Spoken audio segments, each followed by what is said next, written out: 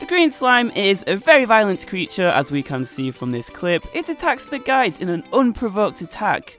And this got me thinking, how fast do characters actually fall in Terraria? Mr. Guide is falling down to his demise and he has a lot of time to think about what just happened and how evil this green slime is. Suppose this is real life, would it take this long to go from the top to the bottom? We can actually work this out because we know how tall each block is and using the depth meter we can get an exact distance distance on how long it takes to go from the top to the bottom and then we can compare that to real life values. And look at that!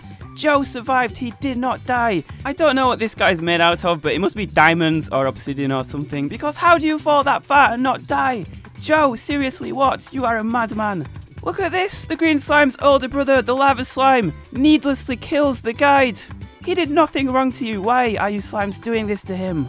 So how did the guide survive this massive fall? Let's do a bit of investigating and let's work out just how many feet this massive drop is.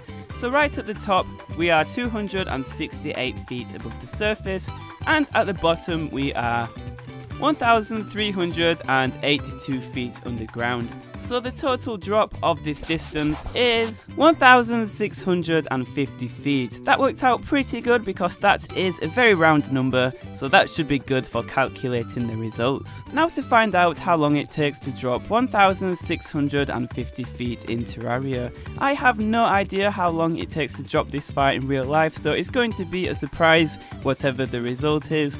And in Terraria, it takes a grand total of 23 seconds to get to the bottom of 1,650 feet. So 22.5 seconds, is it faster in real life? I have the values here that I can type into this calculator called the Splat calculator and then we can find out how long it takes in real life. So I converted the 1650 feet into meters which is 502.92 meters.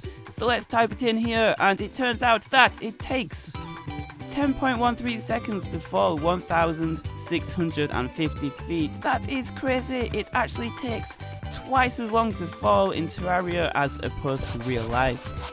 So what does this tell us? Well, it tells us that the size of the Terraria world is much smaller than on Earth because on Earth, if you fell for 22 seconds, you would cover 2,500 meters, whereas in the Terraria world, you only cover about 500. The size of the Terraria world is actually much closer to the moon, because if you were to fall for this long on the moon, you would cover 400 meters, which is very close to the 500 meters that it takes in Terraria.